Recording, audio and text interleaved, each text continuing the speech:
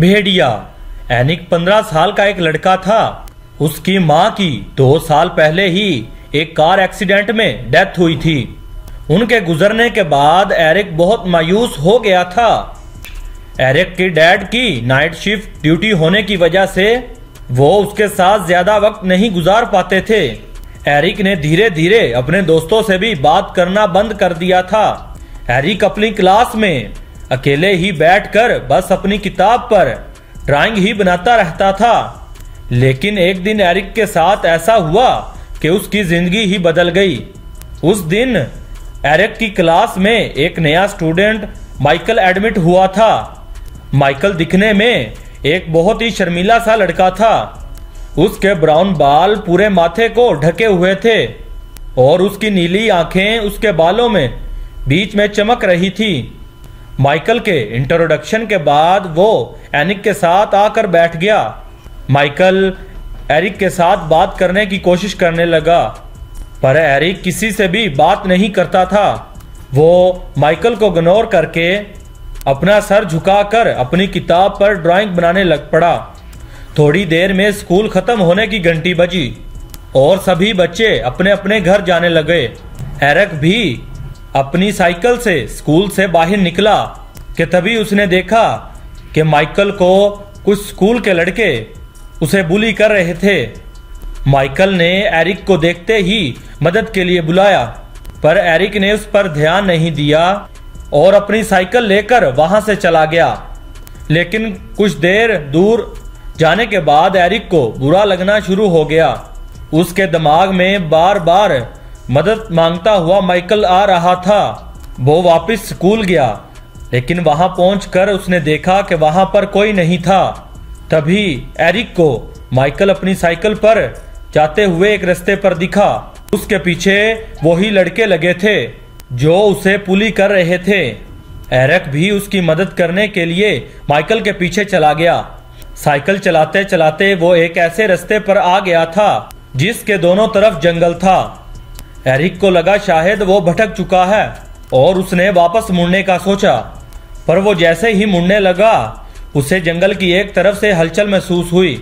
Eric ने उस तरफ़ नज़र उठाकर देखा तो रोड की साइड पर लगी झाड़ियाँ बहुत ज़ोर ज़ोर से हिल रही थी। एरिक हिम्मत करके उन झाड़ियों के पास गया, और उसने जब देखा तो उसकी रूह ही काँप उठी। एक बहुत ही भयानक दिखने वाला भेड़िया एक इंसान को नोच नोच कर खा रहा था। ये देखकर एरिक का शरीर बिल्कुल सुन पड़ गया था। तो उसने ध्यान से देखा जिसे वो भेड़िया अपने दांतों से चुबा रहा था। वो किसी और का नहीं, बल्कि उसी लड़के का था, जो स्कूल के बाहर माइकल को पुली कर रहा था। एरिक धीरे धीरे पीछे जाने लग पड़ा, कि तभी उसका पैर पीछे जाते जाते एक सूखी लकड़ी पर आ गया। लकड़ी की टूटने की वजह से ज़ोर की आवाज़ आई। उस आवाज़ को सुनते ही वो भेड़िया पीछे मुड़ा और सीधा एरिक के ऊपर टूट पड़ा।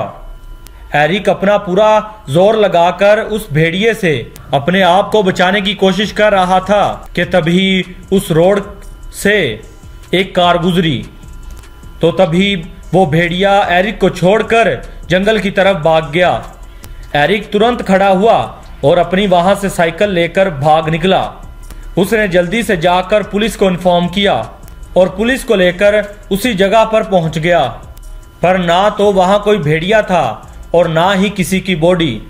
पुलिस को लगा कि एरिक उनके साथ कोई मज़ाक कर रहा है, पर पुलिस ने एरिक को डांट लगाकर उसके घर भेज दिया। अगले दिन एरिक स्कूल में अपने फेवरेट टीचर ब्लैक से इसी पर बात करने के लिए गया। एरिक की मोम के मरने के बाद प्रोफेसर ब्लैक ने एरिक को काफ़ी इमोशनली सपोर्ट किया था। एरिक को यकीन था, कोई बात उसकी समझे ना समझे, मिस्टर ब्लैक ज़रूर समझेंगे। एरिक ने अपने साथ हुआ किस्सा उन्हें बताया और एरिक की बात सुनने के बाद मिस्टर ब्लैक हैरान हो गए और उन्होंने अपने कमरे के दरवाजे को बंद किया। और अपनी अलमारी से एक पुरानी सी किताब निकाली। एरिक को कुछ भी समझ नहीं आ रहा था। और फिर मिस्टर ब्लैक ने उस किताब को खोला और कहा, उन्हें ऐसा लगता है, एरिक ने जो कल देखा, वो कोई मामूली भेड़िया नहीं था, बल्कि एक वेयर वुल्फ था, जो वैसे तो इंसानी रूप में रहते हैं। या आपे से बाहर होने के बाद या चांदनी रात को एक भयानक भेड़िए में बदल जाते हैं? ये सुनकर एरक के दिमाग में सिर्फ़ एक ही बात चलने लग पड़ी। वो माइकल के पीछे उस रास्ते पर गया था और जो बच्चा कल मारा गया, वो माइकल को ही बुली कर रहा था। ये सब सोचकर एरिक को लगने लग पड़ा कि माइकल एक वेयर है और उसी ने उस पर कल हमला किया था और उस दिन के बाद से लगभग हर दिन लोगों के गायब होने की इतला आने लग पड़ी। एक दिन मिस्टर ब्लैक ने एरिक से कहा, उस भेड़िए को मारना होगा। मिस्टर ब्लैक ने कहा, एरिक का सामना उस भेड़िए से हो चुका है। इसलिए वो भेड़िया एरिक का शिकार करने ज़रूर आएगा। इससे पहले कि वो आए, एरिक को उसे ही मार देना चाहिए। स्कूल के बाद एरिक, मिस्टर ब्लैक के घर चला गया। मिस्टर ब्लैक ने उसको पीने के लिए कॉफ़ी दी। लेकिन उस कॉफ़ी के पीने के बाद एरिक को चक्कर आने लग पड़े और उसे सब धुंधला धुंधला दिखने लग पड़ा। उसने देखा, मिस्टर ब्लैक अपने बेडरूम की तरफ़ जा रहे हैं। बाहर बहुत रात हो चुकी थी और चाँद भी नज़र आने लग पड़ा था। एरिक बेहोशी की हालत में यह सब देख रहा था कि अचानक एरिक को मिस्टर ब्लैक के रूम से ज़ोर की आवाज़ आई। एरिक तुरंत उठकर मिस्टर ब्लैक के कमरे की तरफ़ बेहोशी की हालत में गया और दरवाज़ा अंदर से लॉक था। एरिक को कुछ समझ नहीं आ रहा था तो एरिक मिस्टर ब्लैक को ज़ोर ज़ोर से आवाज़ें देने लग पड़ा। और दरवाज़ा नोक करने लग पड़ा, पर मिस्टर ब्लैक ने कोई जवाब ना दिया। एरिक को अंदर से किसी भेड़िए की गुहार करने की आवाज़ आ रही थी। एरिक ने की होल से जैसे ही कमरे के अंदर झांका तो उसके होश ही उड़ गए। एरिक के सामने ही मिस्टर ब्लैक की रीढ़ की हड्डी गोल हो गई और उनके शरीर पर बड़े बड़े बाल उगने लग पड़े। उनका मुँह लंबा होने लग पड़ा। और दांत उनके बड़े जानवर की तरह हो गए। कुछ ही मिनटों में मिस्टर ब्लैक एक खूंखार भेड़िए में बदल चुके थे। एरिक समझ गया था कि वो भेड़िया माइकल नहीं, बल्कि मिस्टर ब्लैक है, कि इससे पहले कि वो कुछ कर पाता। मिस्टर ब्लैक ने दरवाज़ा तोड़ते हुए एरिक पर हमला कर दिया। वो एरिक को नोचने लग पड़े और एरिक दर्द में अपना हाथ इधर उधर मार रहा था, कि तभी मिस्टर ब्लैक का लाइटर उसके हाथ में आ गया। एरिक ने जैसे ही वो लाइटर जलाया, वो भेड़िया पीछे हट गया।